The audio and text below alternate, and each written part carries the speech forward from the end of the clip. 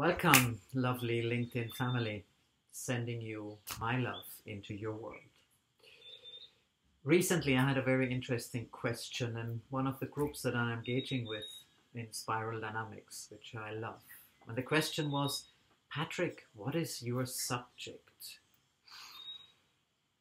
And I just could breathe because I really didn't know what is my subject. Yes, I used to lecture at university a whole range of subjects, but what is my subject? So I went on a deeper journey on that because I felt it might be interesting. And I wanted to share videos with you here on LinkedIn since we are back in paradise. So, what came through for me eventually is uh, my subject is vital, transpersonal, and transworlding education. Relational participatory journeys and explorations. Now, I know this is a big mouthful, but if we want to cut it down and make it simple, I would like to call these series here of um, videos Breaking Free Beyond Matter. That is maybe the essence of it all. And today I want to tell you the story of breaking free beyond matter. And a story that is obviously related to part of this vital transpersonal and transworlding education and journey that I am on and that I'm happy to guide you and journey with you and bridge and explore together with you. So, this is the first set of breaking free beyond matter. So, I'm not saying matter doesn't exist. I am not saying it's not part of a whole. It's more or less the opposite. I'm saying, yes, there is matter, but it's not all. And for me, when I'm only matter, I'm just not alive. Because matter is often dead. So the word vital and vitality, they add for me that flavor of life. So if we are looking into that breaking beyond matter, we are looking at the causal world, the world of cause and effect. This is like that because you are like that because your parents are like that. You are a statistic because this is where you come from. You are so damaged because of your childhood. And when we're breaking free of that causal, of that reductionist mindset, we open up to a world of synchronicity, of spirit, you may say, of a quantum space. This is what we're here for today. And over these next weeks that I'm sharing this with you, as, as long as it lasts and as long as you're enjoying it. So let me begin with one of these explorations. Let me begin with one of this breaking free. When I was a child, I was very much into music, and possibly if you would have asked me, my favorite profession would have been musician. But of course, musician was a certain journey. I went to music school until the end of college, obviously. But to become a professional musician or a music teacher didn't come to me. I played the clarinet, I played the accordion, I sung, and I loved it so much. But yet, there was a lot of cause and effect situations that wasn't given to me. I wasn't maybe really made of being that extraordinary musician out there, and I wouldn't really know if I would have become a jazz musician or a classical musician or I don't know. But over time, and this is when we're breaking free, I continue playing this clarinet. I continued singing. And one day came pentatonic flutes to me and pentatonic instruments. And this is part of that breaking free beyond matter, I went on a journey and a path of the air, the element of air. And of course, sound is an element of, in the element of air. We can hear it in the air. Like we can hear the sound of the jungle. So we can hear the sound waves of music. So here I am, a sound artist. I don't know. Is that a label that is necessary when we're breaking free of matter? So let me take you on a little bit of sound of that of that air, the path of the air that helps us to break free.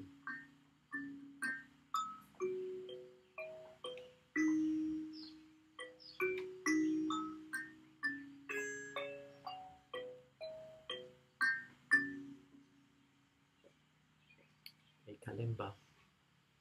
Everyone can play it. So, what has changed? I went from playing according to notes and the knowledge that I had acquired to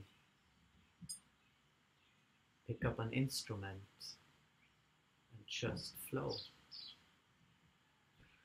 I didn't become the musician in whatever fame or short, uh, short form. I allowed music to play me, sound to come into my life. And often not for myself and my own pleasure, but often to share. Share with those who could relate to that sound. That sound would bring healing to. That sound would help to relax. So now I don't have any notes. And often I don't even think about what scale I'm in or what tone my flute is on. Just allow the sound to come out. So let me share that with you.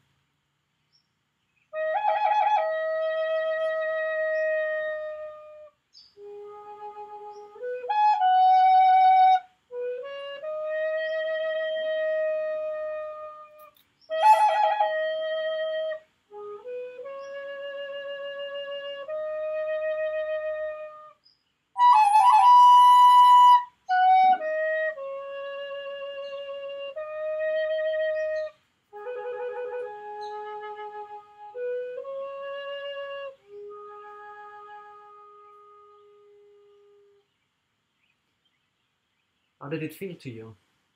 I didn't play according to the notes. I wasn't focusing on doing it right. I wasn't worried about the rhythm or the count. While this is all beautiful, I just stepped beyond that written matter of sound and music. So, what happens if you do that in your world and if you step on that path of the air? What is the sound that you play? Are you humming? Are you singing? How does sound come into your life? Do you enjoy it or do you produce it? What difference does it make in your world? Now, the path of air has many different areas, of course. And another one is the voice, the language. The language only is really able to create something through voice, of course, unless we speak sign language. But even though the sign language is kind of an airy thing, So many things are in the territory of air, and much medicine comes from there when we step beyond that matter and allow air to come through. Another medicine of air, of course, is the breath. It's beautiful to learn pranayama and all these beautiful breath that truly liberate us and help us. But it's when we step beyond we really enjoy the breath. So breaking free beyond matter takes us into a place of wholeness. Breaking free beyond matter takes us out of the preconditioned, the predestined, the causal, and the causes of what we expect to be the result or the outcome. When I play these flutes, when I play the drums or whatever comes to me,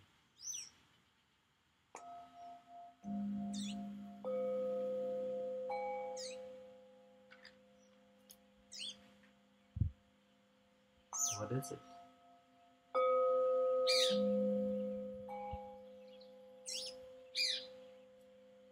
Allowing sound to inspire me to take this wave into the world.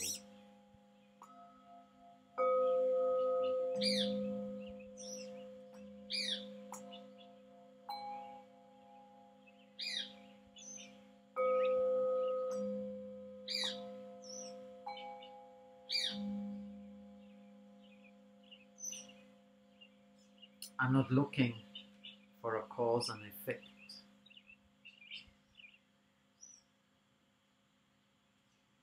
Just allowing the sound to be.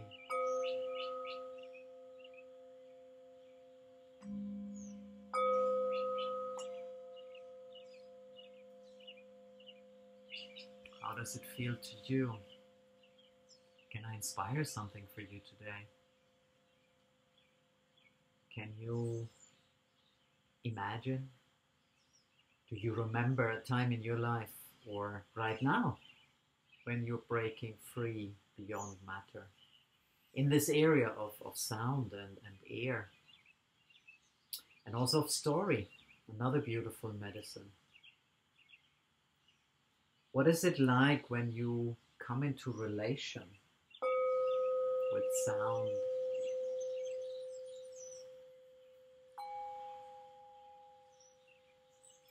When you become part of the story.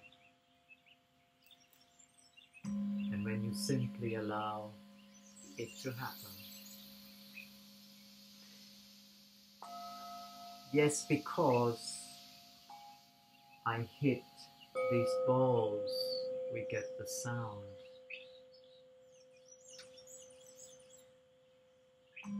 Sound is much more than that. There is a magic in the sound. Talks to the birds and to you.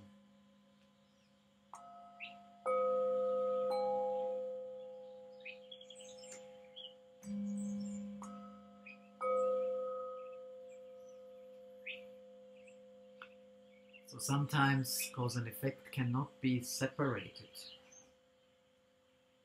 cannot be seen apart, but together. Maybe the treasures lie beyond the matter, beyond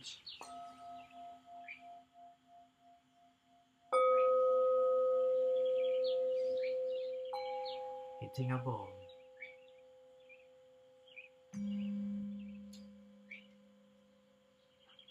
So I want to leave you with this for today. Some inspiration, some food for an open mind and an open heart. Thank you for listening to this. Very curious how it comes in your way. So please write some comments or send me a personal message. Thank you so much for being here. And again, let me send you my love into your world.